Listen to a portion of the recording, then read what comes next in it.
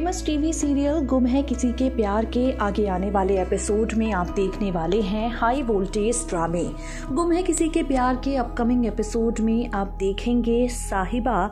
विराट से मिलेगी और जान जाएगी कि विराट आज भी सही से ही प्यार करता है। जी हाँ जिस साहिबा के साथ काफ़ी ज़्यादा इन दिनों मिलजुल रही है सई, जिस साहिबा के साथ अपने परेशान दिल का हाल बांट रही है सई, जान जाएगी साहिबा ये बात कि ये जो सई है, उसी का पति विराट है, जो आज भी प्यार सई से ही करता है। साहिबा विराट से मिलकर जब दोबारा सई से मिलेगी तो सई को बताएगी कि विराट की आँखों में उसने आज भी प्यार देखा है सिर्फ़ और सिर्फ़ सई के लिए। विराट की आँखों में आज भी उसे ढेर सारे अनकहे जज्बात दिखते हैं सिर्फ़ और सिर्फ़ सई के लिए।